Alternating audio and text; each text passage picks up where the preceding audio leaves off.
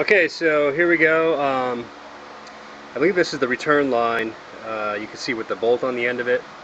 Well, the original um, hose gave out, and then um, I just put a uh, bolt on the end of it so it wouldn't uh, go to the back of the truck and uh, start leaking gas because it's not hooked up. Why? Well, because I learned the hard way. So, anyway, um, yeah. So, learned a lot just doing this, and um, so now I'm going to turn it over. I've got a little bit of gas um, right here, and uh, I've had it going for a little bit, but we'll see what happens here.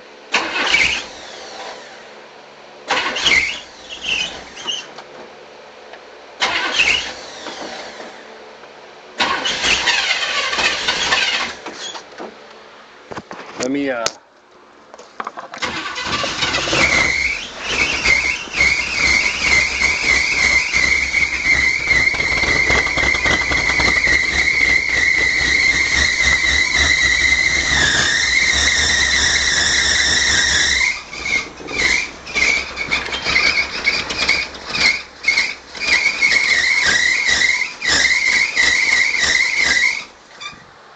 You can hear some definite uh, squealing up here, and I don't know if it's belts.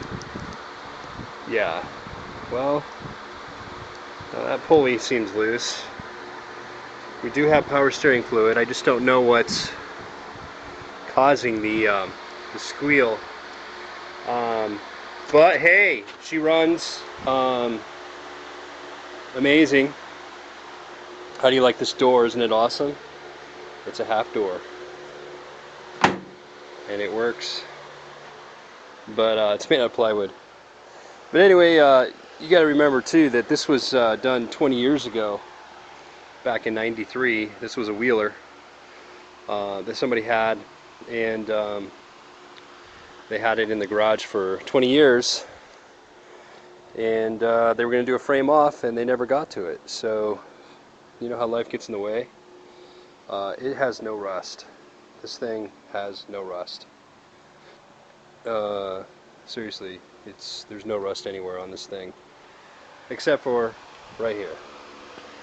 There's a little bit, I think, right here, a little bit of cancer that needs to be taken care of.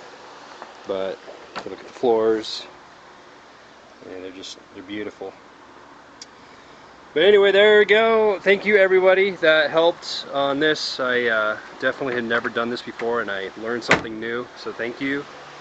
And uh, that's it. So what to do next?